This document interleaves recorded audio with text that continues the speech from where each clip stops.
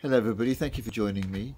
Today saw the death in 1669 of uh, Rembrandt, um, whose paintings continue to give enormous pleasure to millions of people. Among them uh, are portraits and uh, particularly uh, probably 80 self-portraits um, charting his uh, looks from the uh, debonair young man of 22 right through to very near to his to his death. Uh, one feature of some of these self-portraits is interesting. Uh, it, it, it, one side of, of the face is brilliantly lit, and then on the other side of the nose, the other side of the face uh, is in shade or in shadow or in darkness.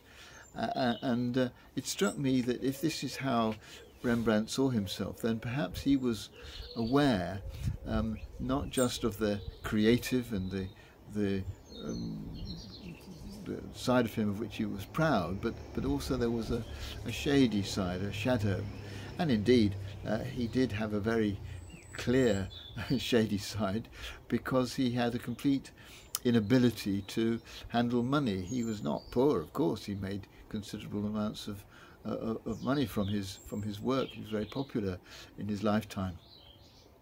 Um, but he never earned enough to keep pace with his expenditure. And so when he died on this day in 1669, uh, he was buried in a pauper's grave.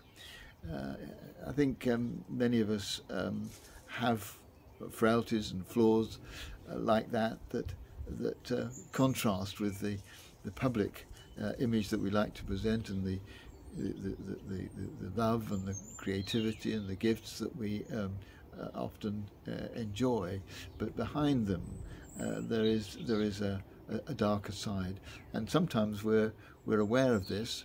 Um, sometimes it's hard to control, sometimes it isn't, but but being aware is the first step to uh, having some control uh, over these deeper instincts and frailties.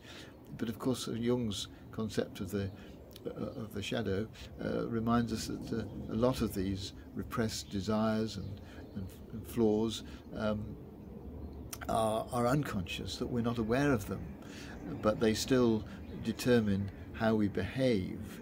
Um, we, we, we, our actions come from a, a, part of ourselves that we're not, uh, uh certainly not in control of, and often not, not aware of. And so I, I think um, I think that uh, Rembrandt's need to look at himself closely in order to get the features right in his paintings uh, is a reminder to us that though we may not be drawing ourselves, it's still worth taking a really good look at ourselves and trying to understand what might be emerging from deep within us, what at the moment might be unconscious, we could perhaps bring it to the surface.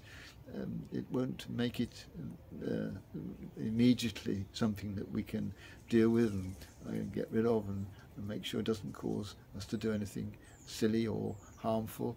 Um, but uh, uh over time, if we're conscious of what lies within our shadow uh, and aware of the frailties and instincts and, and, uh, and the tendencies to selfishness that lie there, then we're much more likely uh, in the end to be able to control them.